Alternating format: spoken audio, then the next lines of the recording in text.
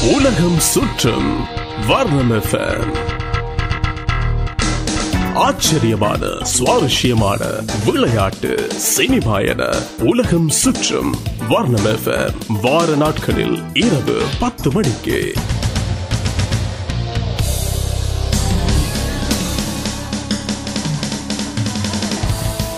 சர்வதேச மாற்றுத்திறனுடையோர் தினம் என்றாகும் உட்படுத்துகை சமூகத்திற்கான தடைகளை உடைத்து அனைவரும் அபிவிருத்தி காணுவோம் என்பதே இம்முறை இத்தினத்தின் துணைப்பொருளாகும் இத்தினத்தை முன்னிட்டு இன்று இலங்கையில் மகியங்கனை பகுதியில் ஒரு நிகழ்வும் தேசிய நிகழ்வொன்று ஜனாதிபதி தலைமையில் எதிர்வரும் ஆறாம் தேதி வெள்ளவாய பகுதியிலும் நடைபெறவுள்ளது.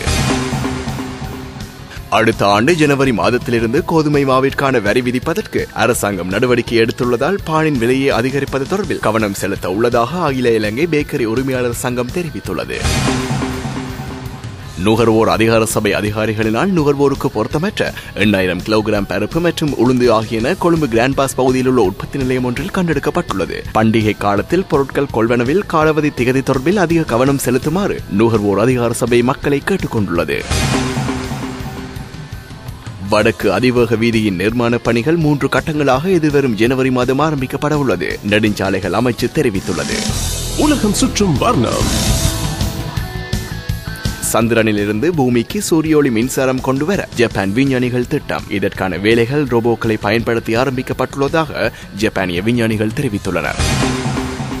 இலங்கையில் உள்ள ஆண்களின் எண்ணிக்கையுடன் ஒப்பிடுகையில் பெண்களின் சதவீதம் குறைவடைந்துள்ளது. இதற்கமைய நூறு ஆண்களுக்கு தொன்னூற்று நான்கு பெண்களே காணப்படுகின்றார்கள் என தொகை மதிப்பு மற்றும் புள்ளி விவரவியல் திணைக்களம் தெரிவித்துள்ளது. உலகில் முதல் பத்து கோடீஸ்வர தலைவர்களினுள் ரஷ்ய அதிபர் விளாடிமிர் புட்டின் நாற்பது பில்லியன் டாலர்கள் சொத்து மதிப்பில் முதலிடம் பிடித்துள்ளார். சக்தியை வழங்குவதாக கூறப்படும் எனர்ஜி ட்ரிங்கை அருந்துவதால் இதய துடிப்பு அதிகரிப்பதுடன் பக்க விளைவுகளும் அதிகரிக்கின்றன. சிறுவர்களை பானங்களை குடிப்பதை முற்றிலும் தவிர்க்குமாறு ஜெர்மனிய நாட்டு பல்கலைக்கழக ஆராய்ச்சியாளர்கள் ஆய்வின் மூலம் தெரிவித்துள்ளனர். உலகம் சுற்றும் வர்ணம். இந்தியாவில் கடந்த ஆண்டு ஒன்று தசம் ஒன்று ஆறு லட்சம் புதிய எய்ட்ஸ் நோயாளர்களும் சீனாவில் கடந்த ஒன்பது மாதங்களில் மட்டும் சுமார் எழுபதாயிரம் புதிய எய்ட்ஸ் நோயாளர்கள் இனங்காணப்பட்டுள்ளதாக புள்ளி விவரங்கள் தெரிவிக்கின்றன.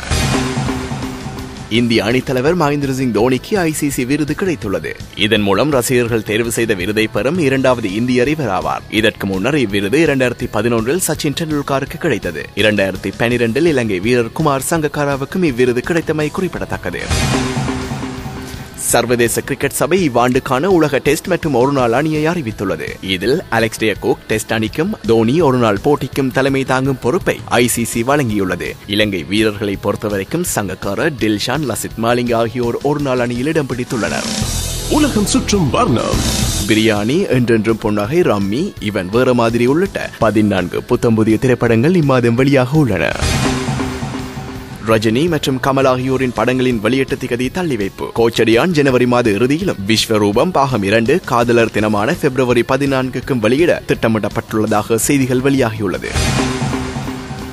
மலையாளத்தில் மம்மூட்டி நடிக்க இருக்கும் த கேங்ஸ்டார் படத்தில் இளைய தளபதி விஜய் ஒரு பாடலுக்கு நடனமாட இருக்கிறார் இப்பாடல் காட்சியின் படப்பிடிப்பு வருகின்ற பதினைந்தாம் தேதி நடைபெறவுள்ளது. இப்பொழுது உலகம் சுற்றும் வர்ணத்தின் ஒளிப்பதிவையும் வர்ணம் எஃப்எம்மின் உத்தியோகபூர்வ ஃபேஸ்புக் தளத்தில் நீங்கள் கேட்கலாம் உலகம் சுற்றும் வர்ணம். ஆச்சரியமான சுவாரஸ்யமான விளையாட்டு சினிமா என உலகம் சுற்றும் வர்ணம் FM. வார நாட்களில் இரவு பத்து மணிக்கு